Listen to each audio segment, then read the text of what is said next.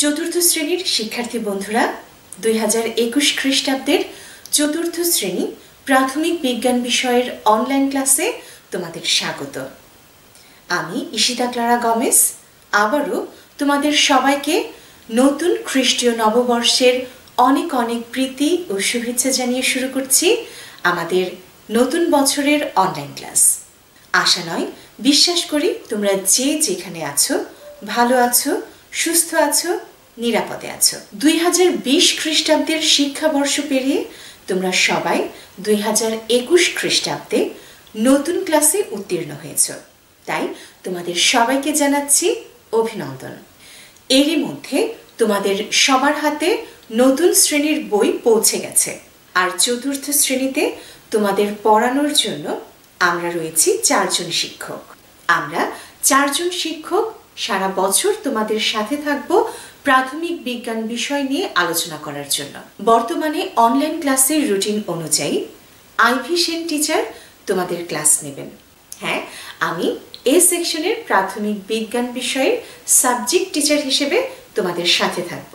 এবারে চলো বিজ্ঞান বিষয়ের অন্যান্য সেকশনের টিচারদের সাথে পরিচিত হওয়া যায় শ্রেণির শিক্ষার্থী বন্ধুরা, আশা করি তোমরা সকলে ভালো আছো। সবাইকে প্রীতি ও শুভেচ্ছা জানিয়ে এবং শুভ নববর্ষ জানিয়ে আমি তোমাদের ফাতেমা মিস বলছি, চতুর্থ শ্রেণির বিজ্ঞান ক্লাসে আমি ফোর সি ক্লাসের বিজ্ঞান নেব। তো আশা করছি তোমরা অ্যাক্টিভ থাকবে কাজে, কর্মে এবং বিজ্ঞান যখন অনলাইন বা জুম ক্লাস হবে, তোমরা সকলে সব কিছু তথ্য জেনে যাবে। আরও তিনটা সেকশনে যারা আছেন, তারাও তোমাদের সাথে সাক্ষাৎ নেবে। তো আমি আশা করছি তোমরা সবাই ভালো থাকো, সুস্থ থাকো bye happy new year students আশা করি সবাই ভালো আছো। নতুন বছরে নতুন ক্লাসে উঠেছো, তাই তোমাদের সবাইকে অভিনন্দন। তোমরা হয়তো অনেকে আমাকে চিনো না, আবার অনেকে হয়তো চিনো। তোমাদের গত যে থ্রিতে ছিলে, থ্রিতে আমি তোমাদের অনলাইন বিজ্ঞান ক্লাস নিয়েছি। এইভাবে হয়তো অনেকের কাছে আমি পরিচিত। তো এবারও তোমাদের ক্লাস ফোরের ডি সেকশনের বিজ্ঞান শিক্ষক হিসেবে আমি আছি, আর সেই সাথে ফোর ডি ক্লাস টিচার হিসেবেও আছি। তো তোমরা এই অনলাইন ক্লাসে প্রত্যেকটা সেকশনের টিচারদের সাথে পরিচিত হবে এবং অনেকের ক্লাসই পাবে। তো সেখানে তোমরা কিন্তু টিচাররা যেই ক্লাসই নিক, সব সেকশনের জন্য সেটা প্রযোজ্য। আর তোমরা টিচাররা যে ইনস্ট্রাকশনগুলো দেয়, সেগুলো মেনে চলবে। সেইভাবে ক্লাস করবে, সেই কাজগুলো সিডাব্লিউ খাতায় এইচডাব্লিউ খাতায় ভালোভাবে করবে। আর তোমাদের সুবিধার্থে বলে রাখি যে তোমরা সিডাব্লিউ খাতার জন্য বাংলা যে বড় ডিমাই খাতাটা আছে, সেটা ব্যবহার করবে আর এইচডাব্লিউর জন্য বাংলা ছোট খাতাটা ব্যবহার করবে। আর তোমাদের আরেকটি নির্দেশনা দিচ্ছি যে আমাদের পরিকল্পনা অনুযায়ী প্রত্যেক মাসের শেষে আমরা তোমাদের খাতাও জমা নিব প্লাস তোমাদের একটা করে টেস্ট দেওয়া হবে। তো প্রথম থেকেই তোমাদেরকে অনুরোধ করব, তোমরা প্রথম থেকেই মনোযোগের সাথে ক্লাসগুলো করবে।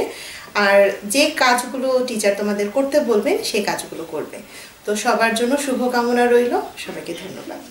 আমরা শিক্ষকরা চেষ্টা করব ওই নির্দিষ্ট বিষয়ে তোমার যত প্রশ্ন আছে বা সমস্যা আছে, সেই সমস্যাগুলোর সমাধান করার জন্য। তাহলে শিক্ষার্থী বন্ধুরা, প্রথমেই বলেছিলাম অনলাইন ক্লাসের রুটিন অনুযায়ী তোমাদের বিজ্ঞান বিষয়ের ক্লাস নেবেন আইভিশন টিচার চলো, এবারে আমরা আইভিশন টিচারের কাছে যাই।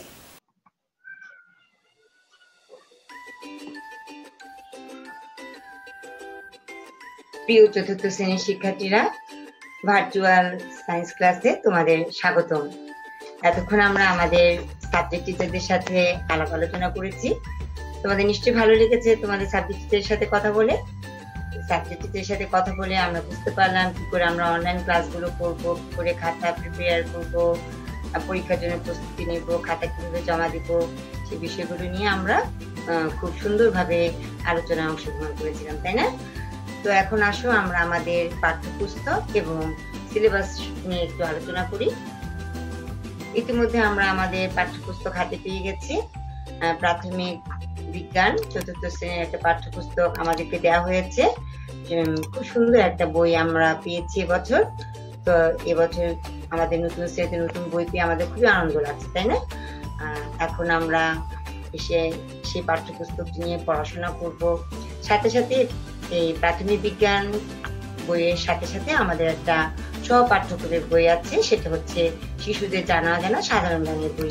এই বইটিও বইয়ের বিভিন্ন বিষয় নিয়ে আমরা আমাদের বিভিন্ন পরীক্ষায় প্রশ্ন সহ অংশগ্রহণ করব এবং বইটি সম্পর্কে আমরা জানতে পারব। তো প্রাথমিক বিজ্ঞান বইটি আমাদের জন্য যে সকল শিক্ষক মন্ডলী শ্রদ্ধেয় শিক্ষক মন্ডলীরা রচনা করেছেন, তাদের নামগুলো আমরা একটু জেনে নিই।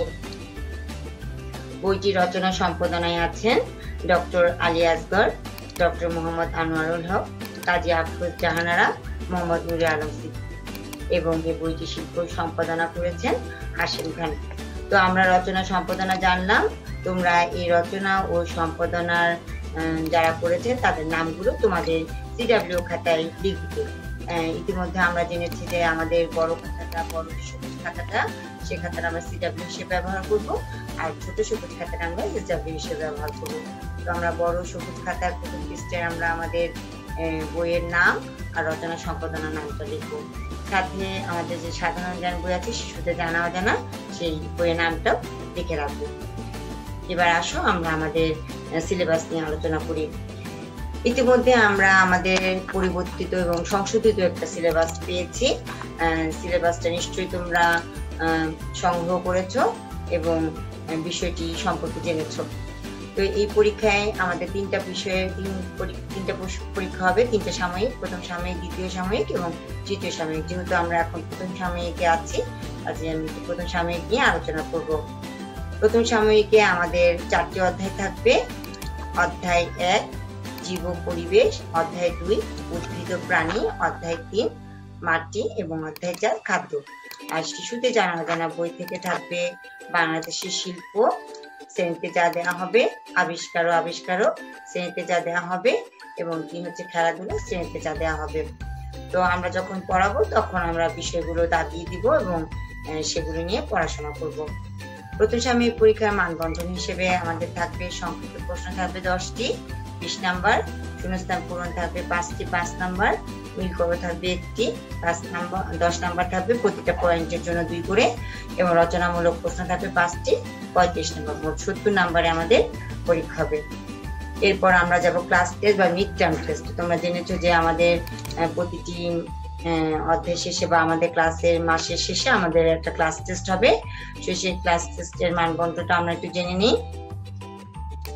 মিড টার্ম টেস্টে প্রথম সাময়িক পরীক্ষার জন্য আমরা যে অধ্যায়গুলো নির্বাচন করেছি সেটা হচ্ছে জীব পরিবেশ, অধ্যায় এক, জীব পরিবেশ, অধ্যায় দুই, উদ্ভিদ প্রাণী এবং অধ্যায় তিন, মাটি।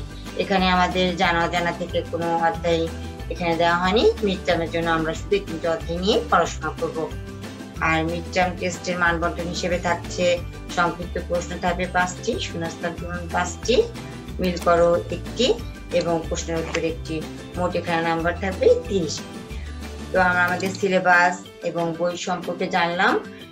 তোমরা এই এই বিষয়গুলো নিয়ে আমরা সামনের ক্লাস থেকে পড়া শুরু করব।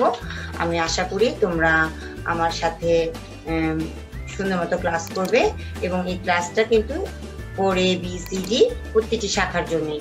কাজে তোমাদের পড়ার কোনো সমস্যা হলে যে কোনো সেকশন যে কোনো সেকশন থেকে আমাকে প্রশ্ন করতে পারবে, কোনো কিছু জানার বললে, জানার থাকলে তোমরা অবশ্যই কমেন্ট বক্সে দেবে।